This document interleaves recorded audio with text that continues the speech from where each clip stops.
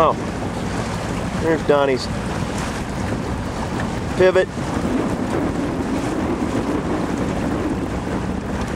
Grain bend. Yours on the other side of the oh, trees. Is water warm? Okay.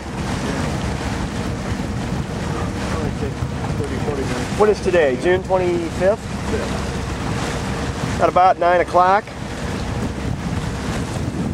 Here's the road going into Dean's, Tom Marshall's property.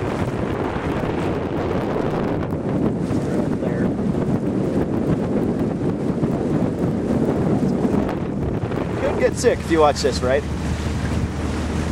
There goes the road all the way down to Dean's. We're gonna boat down there and check it out. See the water going by that pole?